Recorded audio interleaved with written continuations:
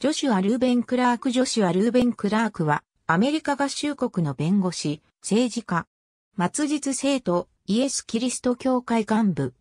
国務省で弁護士として立身し、カルビン・クーリージ政権で国務次官、ハーバート・フーバー政権で中メキシコ大使を務めた。1871年9月1日、ユタ準州、グランツビルにおいて誕生。1893年にユタ大学で理学士号を取得した。在学中は学生会長を務め、卒業生総代も務めた。その後コロンビア大学で法学修士号を取得し、ジョージ・ワシントン大学で准教授となった。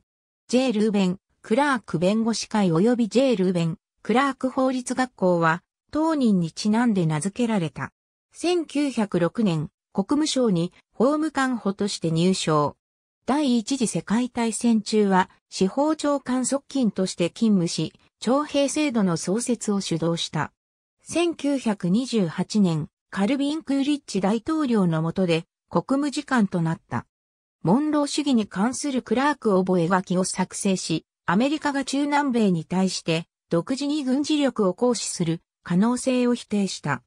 1930年から1933年までは中メキシコ大使を務めた。フーバー大統領とクラークとの関係は極めて良好であり、大統領はこれほど素晴らしい信頼と協調の関係はこれまでに気づいたことがないと称賛した。墓所。ありがとうございます。